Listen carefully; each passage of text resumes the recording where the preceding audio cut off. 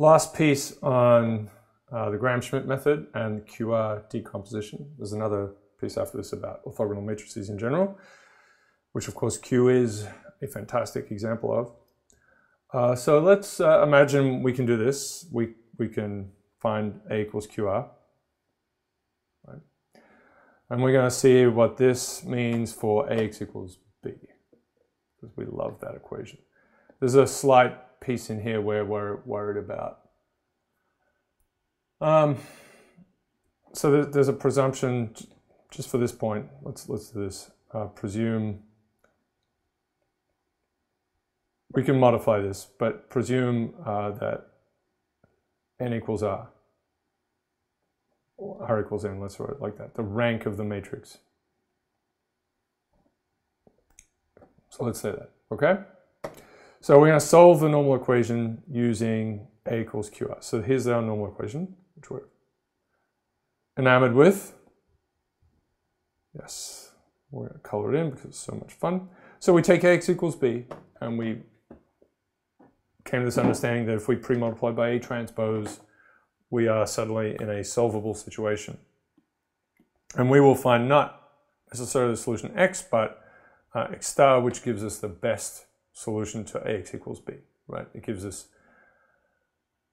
a times x star goes to p, which is b's projection into column space, and that is the best we can do. All right, so the idea is here, b is not an element of the column space of A. That's when we use this. It could be, but that's you know, what we're worried about here. All right, so let's stick A equals QR in. That's what's happening here. So this is QR, here's QR, right? So this is A equals QR, and again here, and then again here, and there's a transpose. Right, so we've just replaced A with QR. We've got transposes, so we know what to do with those, right? So they swap, we swap the order, we take the transposes again. And so that's what happened there. So, yeah, we get an R transpose, Q transpose. And then we just have Q times R. This Q transpose Q has appeared. Again, that's the identity. We'll talk a little bit more about it, but that's quite fantastic. It is a, um, this is n by n, this is n by m, so it's an n by n identity, pretty good. These are n by n, right, so these are square matrices. So lots of square matrices now.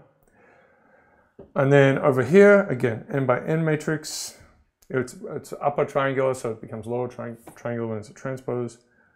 Uh, then we have um, n by m and n by 1 right? So this whole thing here is an n by 1. And of course, this is n by 1 as well. So it's an, a square matrix problem now. Let's get this last piece.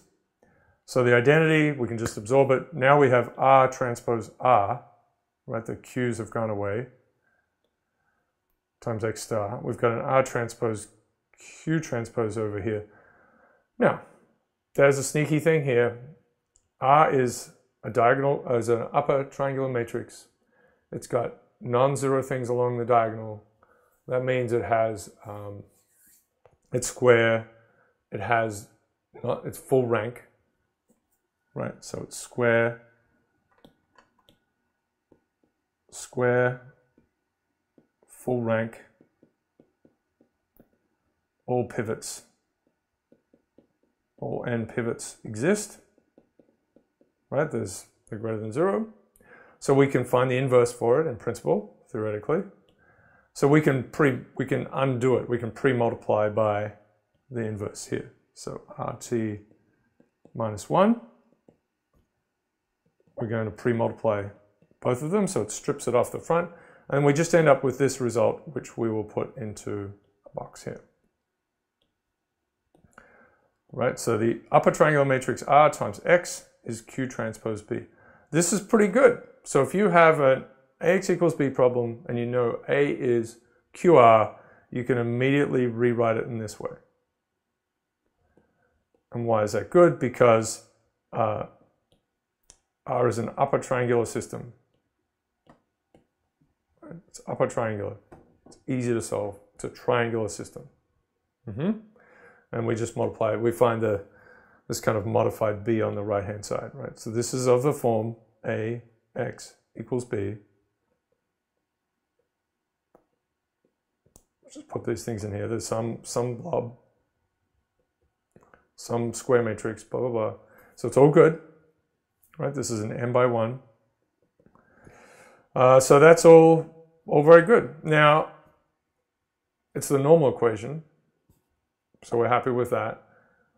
We could also just not worry about the normal equation. Let's just start with ax equals b. So here's a little sort of a maybe potentially confusing issue, right? So ax equals b. So we're going to do the same thing, replace a with uh, qr. It's just ax equals b, not, not the complications of the, normal equation.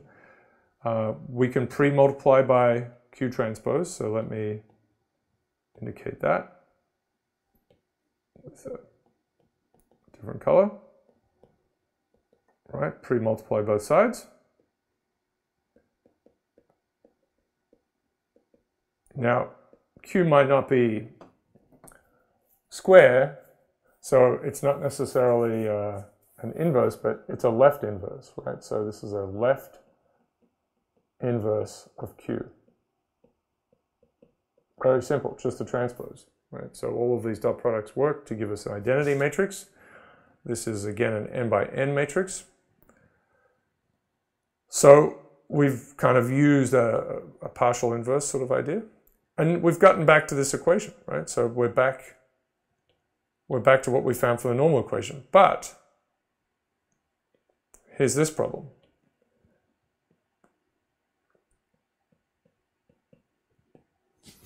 That's kind of weird, but we seem to have solved the problem for x in general. But we know that's not, and this is an upper triangular system.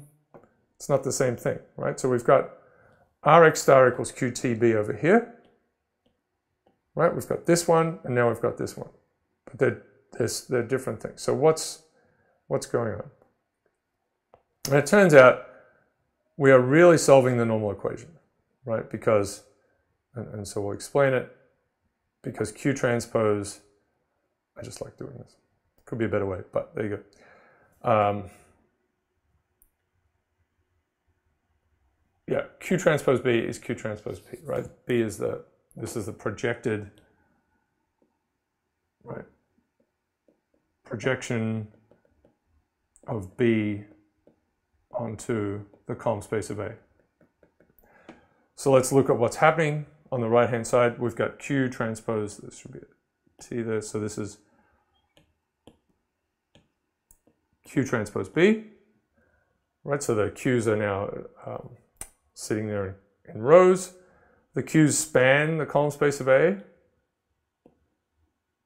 Right, they're, they're just, it's another, we had the A's, they span the column space of A, and then we made this new basis. It's very nice, it's an orthogonal basis for the column space of A. And um,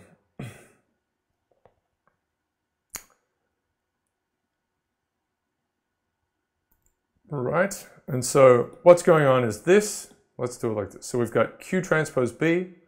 That's just an extra piece here about the projection thing. Q transpose B. Well, B is P plus E, right? So there's a part that lives in column space and a part that lives in left null space.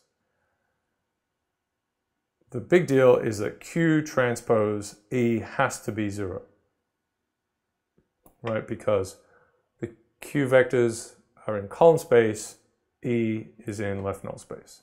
So that's what this is, right? So we're left with Q transpose B is equal to just Q transpose P. So we're really actually solving the normal equation because the Q transpose comes in and it gets rid of all of the E part, right? So you can write it down different ways, but this is actually the, the, the right, I mean, you, you can derive these things separately, right? So we could sort of start here and just go down this way we could start with a normal equation and go down to here. The normal equation is the way to start because we we see we see we've kind of missed something here actually. Um, we've missed that in fact we're really solving x star. So this is really, okay, so this is not, so let me annotate that so we're, right? So this is really uh, r x star. There's only one equation, right? We can't have both. Okay. All right? It's a good thing.